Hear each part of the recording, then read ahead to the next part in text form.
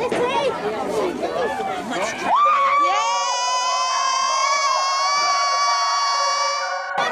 be on the field. You like, really?